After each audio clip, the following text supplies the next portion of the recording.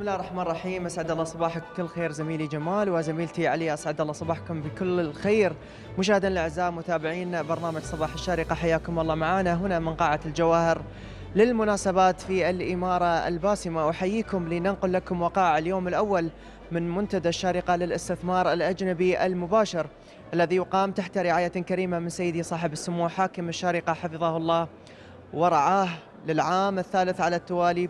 وتحت شعار الثورة الصناعية الرابعة. للتعرف أكثر مشاهدينا عن آه، هذا المنتدى في هذه الدورة المميزة يسعدنا أن نرحب بالأستاذ محمد المشرخ مدير مكتب استثمر في الشارقة. صباح الخير أستاذ محمد وحياك الله معنا في صباح الشارقة. صباح النور يا أهلا وسهلا فيكم وشكرا على تغطية الحدث اليوم. الله يسلمك يا رب. بداية نهنئ لكم يعني هذا النجاح المتوالي.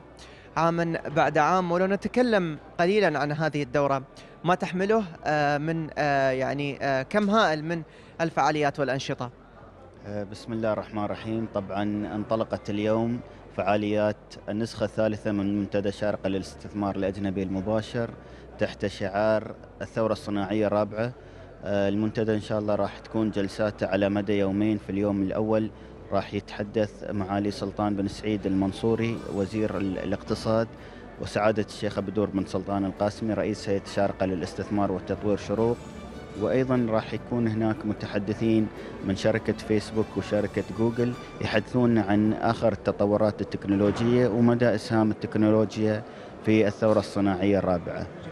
نتكلم شوي عن الشعار يعني آه، في كل عام يتم إطلاق آه، واختيار شعار بما يتناسب مع يعني المواكبة العالمية اليوم في عملية الاستثمار. نتكلم عن الشعار وماذا يميز هذه آه، أو ماذا آه، تتميز هذه الدورة؟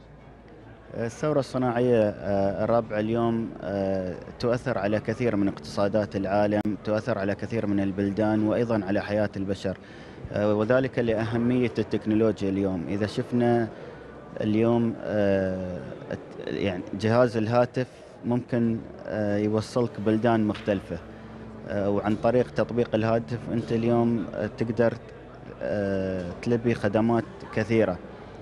فمن هذا المنطلق جاء اختيار شعارنا لهذه لهذا العام وهو الثورة الصناعية الرابعة لأهميته في تشكيل المستقبل حقيقة. يعني نحن نعلم أن هذا المنتدى ليس مخصص فقط لاستقبال الاستثمارات. والكل يعلم اليوم إمارة الشارقة تفتح المجالات يعني الاستثمار في كل المجالات وليس في الجانب الصناعي. نتكلم عن الجوانب الأخرى اللي راح يفتح باب التعامل يعني مع المشاركات الكبيرة. وحسب آخر الإحصاءات أمس يعني 1500 مشارك. آه، العدد اليوم كم وصل؟ أه الحمد لله. أعتقد أنه وصلنا ل 1500 مشارك تقريبا. أه هذه السنة طبعا تميزت بحضور دولي كبير. يمكن الفترات السابقة كان المنتدى إقليمي بدأ كمؤتمر أو منتدى محلي إقليمي.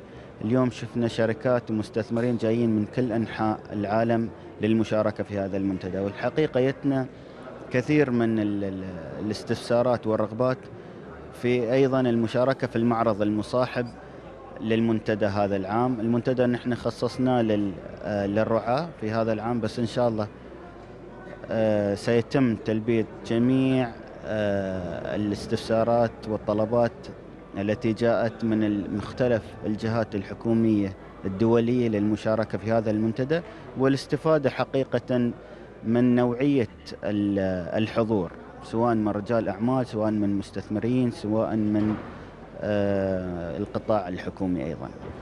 التوفيق إن شاء الله أستاذ محمد وشكرا لجهودكم الكبيرة. آه، والتي يعني تقام سنويا ونحن نشهدها على أرض الواقع هنا في آه، هذا المنتدى. شكرا لك ويعطيك العافية. شكرا لكم. شكرا. شكرا. كل الشكر والتقدير مشاهدينا الأستاذ محمد المش... محمد المشرق. طبعا آه، مدير مكتب استثمر في الشارقة. نتمنى لهم التوفيق والنجاح. اذا مشاهدينا يعني كنا لكم في لقاء عام وتغطية عامة هنا من قاعة الجواهر للمناسبات ومنتدى الشارقة للاستثمار الأجنبي. المباشر. نعود إلى زملاء الأعزاء في استوديو صباح الشارقة والكلمة لكم